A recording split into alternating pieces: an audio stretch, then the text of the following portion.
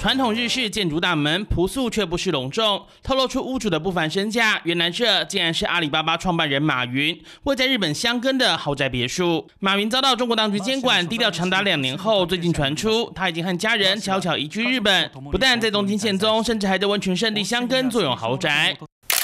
日本周刊 Friday 报道，十月下旬就接获消息，指出马云落脚香根，入住软银 CEO 孙正义转让，占地超过两千平方公尺的别墅豪宅，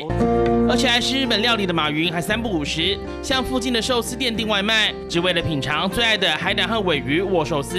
也因此，日本料理的店长才得以进入豪宅，虽然里头住的就是马云。更有外媒透露，其实马云曾在二零一六年以联合国特别顾问的身份获颁联合国最高级别的红色特别通行证，这也表示马云是正式的联合国官员和全球公民，想去世界哪个国家居住都很方便，就连中国也不方便阻扰他出境。马云是否为了明哲保身才低调定居日本，也让各界好奇不已。三立新闻为人据报道。